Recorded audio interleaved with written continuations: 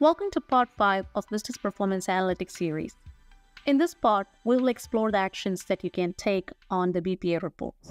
When you log into BPA, on the left-hand side, you can select reports under the section Data Explorer to access all the financial reports that are available out of the box in Business Performance Analytics app. These reports were designed to provide a detailed overview of an organization's financial health. You can select the view to see just the Microsoft reports, and these reports are marked as type equals Microsoft. Microsoft will be adding on reports to expand the coverage for the value chains as we move forward with BPA. Now let's open one of the reports.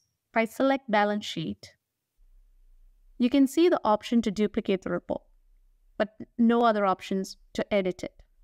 So out-of-box reports are limited in their capacity to be updated as users cannot rename, delete, or edit these type of reports.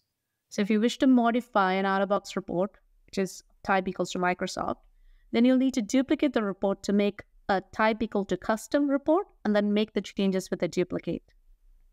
So let me click duplicate. Once it's duplicated, now you can see it has the edit option. It also has an option to rename the report and you can also share the report with other users.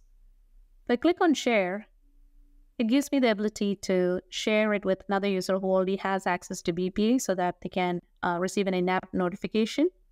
Or you can also share it over email with another user by entering their email address. You also can dictate whether the recipient can edit or view the report.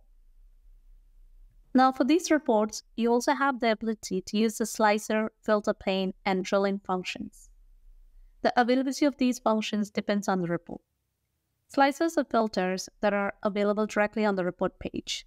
For example, legal entity, you can choose whether you want to display data from all the legal entities or just one of those legal entities.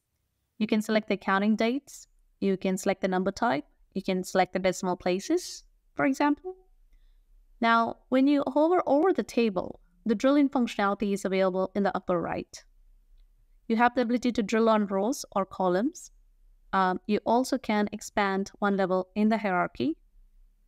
You can also determine uh, the direction in which you want to drill in, whether it is down or up. So in this case, for example, I'm going to turn on drill down. That allows me to drill down into um, asset so that I can get better understanding into where the variances are negative. So right click, drill down, it expands to provide further insights into where I'm seeing the negative areas. You can also drill up. So essentially, you do have the option to determine the direction that you want to drill in. Now, you have the ability to enable the filter pane by clicking on edit that actually gives you the option to see the visualizations and data just the way you would see in a Power BI UI. You have the option to delete the report. Um, if, say, you were using it for testing purposes, you can click on details and then delete it, or you can go back to the reports list and click on the report and say delete. Besides creating a duplicate of a Microsoft type report, BPA also offers the flexibility to create a new report from scratch. If you click on New Report, you can either select Power BI or an Excel report. You can also have the option to start with a blank report or duplicate a Microsoft report. So if I click on Create to start with a blank report, it'll open directly in your browser. Scroll down, click on test. This will be a completely blank report. Clicking on edit will give me the option to add the data fields and build the report. Now let's go back and try to create a new report from Excel. So click on new report, call it transaction details, click on Excel, and select create. What this will do is I will be prompted to open a local copy of the report on my desktop. Scroll down, click on transaction details, open file, And in parallel, it says, do you want to open Business Performance Excel add-in? Click on open.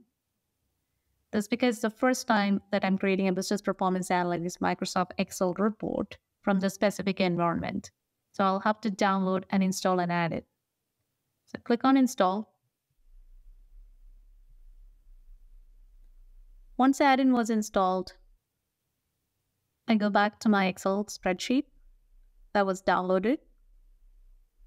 And in the spreadsheet, you can see a message report successfully loaded. You can start working on it. And at this stage, the data is loaded into the spreadsheet.